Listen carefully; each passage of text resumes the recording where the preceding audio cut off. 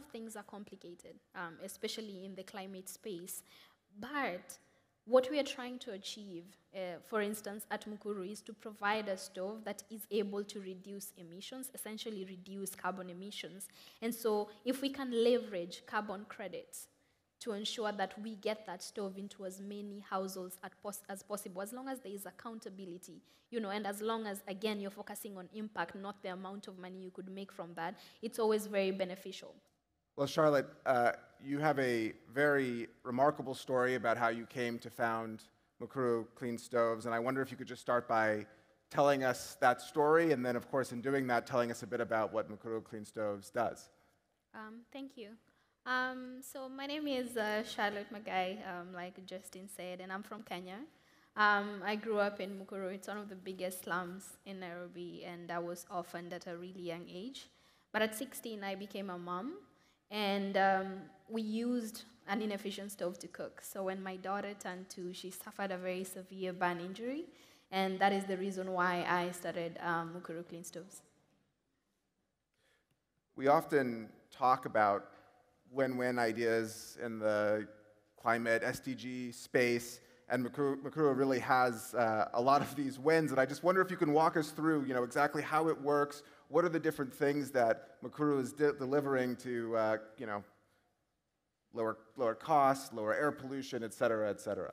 Um, so a Mukuru stove is an Im improvement of the traditional stove, and what it does is it enables families to fight um, you know, household air pollution. So when you use our stove with the right type of fuel, you can reduce up to 90% of the emissions.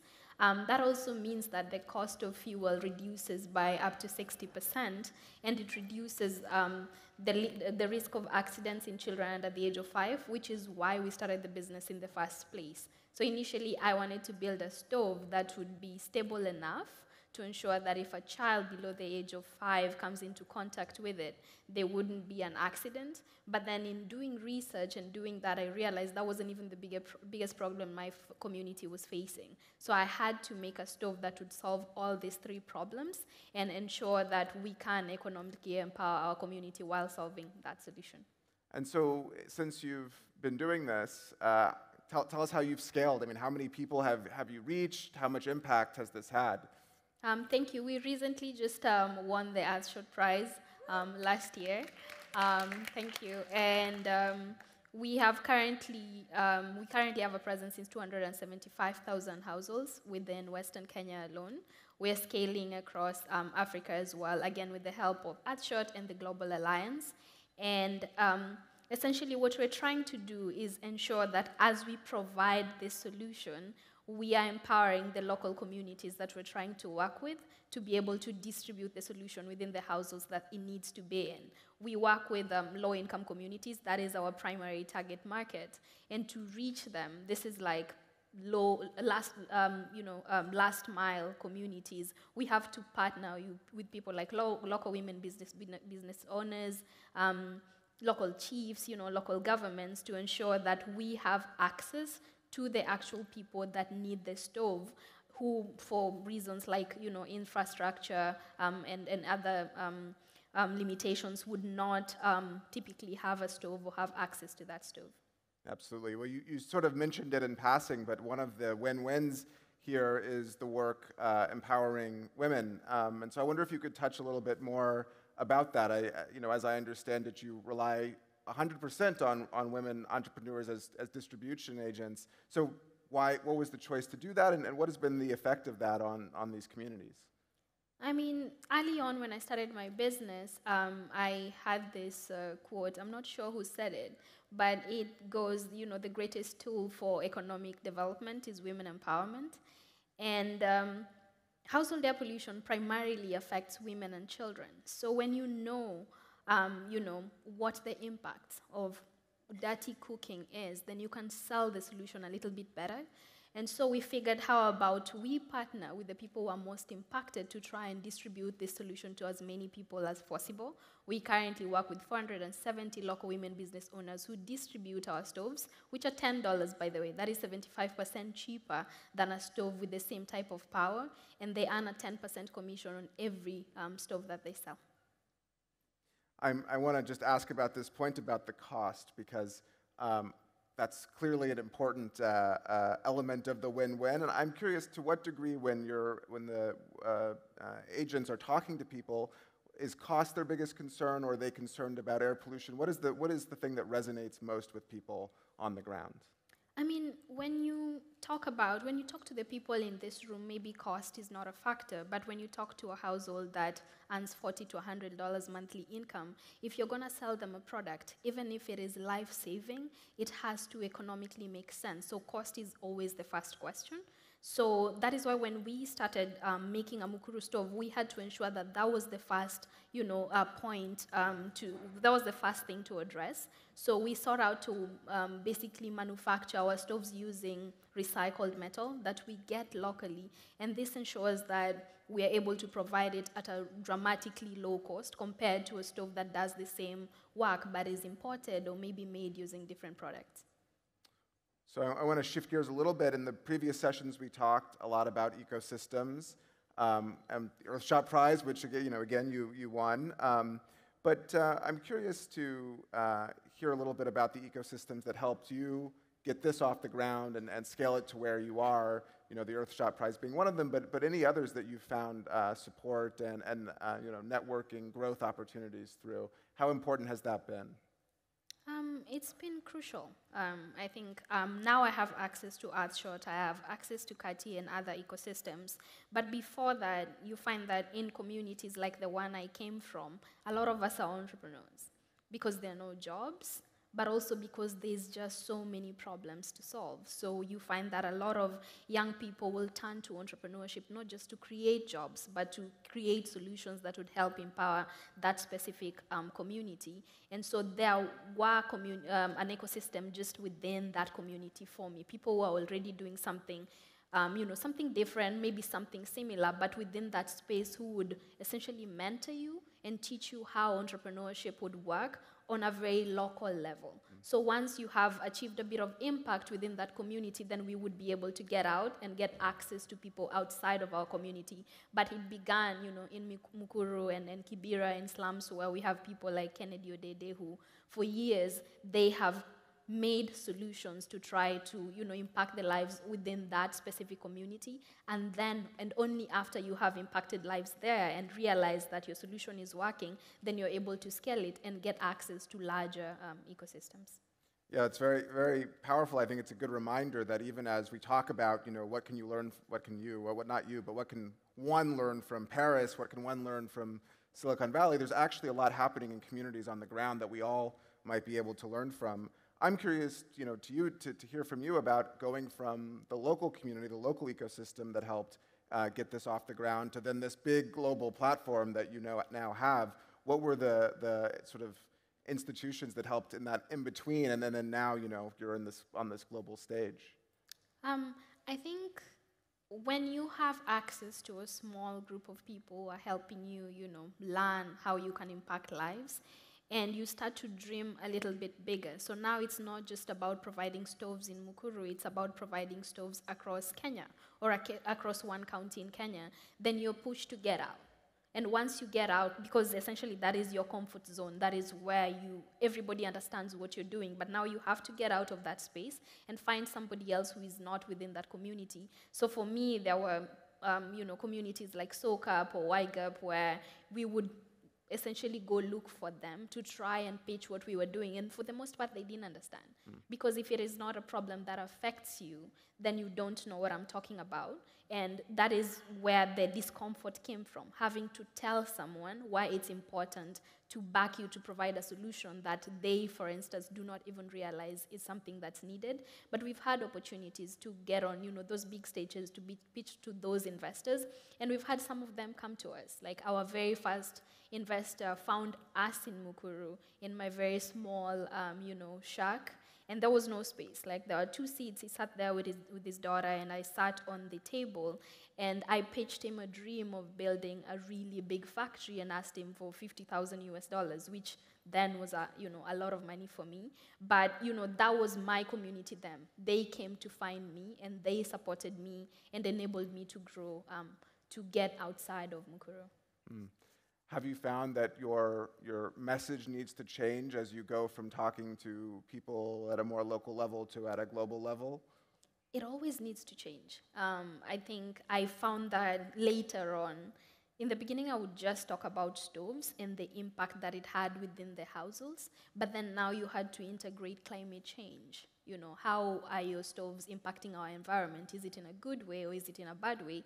And what can you do to ensure that this imp uh, impact is scaled to be able to, you know, empower um, a majority across um, the continent or across the world? So our messaging, our communication has changed um, um significantly over the years. And now we are not just talking about cook stoves, you're talking about carbon credits, and we are having other, you know, conversations like malaria and how we can solve for that using these specific stoves. Hmm. Well, you recently launched the Mukuru Clean Stove Foundation um, to help uh, with education uh, uh, on, on climate change. And so, could you just tell us a little bit about what the foundation will do and, and how you're doing it? Um, yeah, so the work that we're going to do with the foundation, we're already doing with Mukuru Clean Stoves. We just found that for a solution like improved cook stoves, if you're trying to distribute it in a community that does not even understand that there is a problem, there needed to be education before you're able to accelerate adoption. And so Mukuru Clean Stoves is the foundation is coming in to ensure that we are able to educate in mass and ensure that a lot of people get the messaging and understand why a Mukuru stove is very important to be used. But we're also using um, the foundation to develop a new malaria fighting briquette because the solution was a stove for a very long time. We've been doing this for six years. But then we realized that people could burn just anything on the stove. So we needed to come up with a fuel that they could burn on our stoves. And that fuel needed to solve another problem. And we realized that a lot, of, people catch malaria when they're cooking. So even when they have access to mosquito nets, they still get malaria. So if they are using a Mukuru stove, how can our product solve that problem? So we're using the foundation to do research into developing malaria-fighting briquettes, and hopefully when that works, we will be able to scale it across the world. It's amazing. Um, uh, I love the you know, the thinking of new products, but they're all impact oriented. It's, it's just such a different, compelling model of, of what, a, what a company can do. I, you know, you, may, you talked about education first, and I, I want to hear a little bit more about what that education looks like. Mm-hmm. Um, and then, sort of as a second part to that question, how do you inspire uh, uh, more people, particularly women, um, to become entrepreneurs and to, to tackle uh, climate and, and environmental issues? Um, I mean, even with the education, we work with women still. Um, clean cooking, it's not just, I understand that it's not just a women's problem, but it is a problem that women understand best and women can solve for best. So even when we educate, we partner with local women groups. And the reason why we do that is we sell our stoves in rural areas and in rural areas, in every single market, there is one popular women group. So they are like the influencers within that community, and they're able to communicate or, you know, distribute, um, you know, information a little bit better. So we will partner with them and do little roadshows or what we call demos. And what that entails is us setting up, you know, um, our products within the local market during a market day and demonstrating how it works to show you the difference between a mukuru stove and a traditional stove or an open fire and working with these women to be able to do that. Because then they trust the product. If it is coming you know if the information is coming from the women that they trust most or the women who essentially have been able to distribute products to them and they've been able to see that there is a difference. So that is how we do the work and how we inspire people um, I think on your previous panel, you were talking about storytelling and allowing young people to tell their stories. Is when you tell a story, like, I am doing this job and maybe we won the Earthshot, but this is where we came from. We came from Mukuru, from very humble beginnings, and there's a young girl who wants to start a business, then they see that there is a way. They see that, you know, in the end they will be able to achieve the impact that they're trying to achieve, or they will be able to achieve something. So just storytelling is very big for us at Mukuru and very big for me personally. Just always reminding people that it might look like this, but this is where it began, and you can always start from somewhere. And that is the biggest tool that I have used to um, inspire young people, especially. Absolutely, it's very, very inspirational. I, I'm curious. I mean, obviously, here you're here telling the story. How do you get that story to, to communities, to people you know who, who may be uh, you know where you were uh, not so long ago? How do you get that story out there? Um, we work with them. We work within those communities. So, um, for instance, young people who are doing something like weaving, you know, to provide, a, just make a living or be able to provide for their families. We're able to provide mentorship programs for them. We're able to have conversations with them about what that could look like. And it doesn't always need to scale.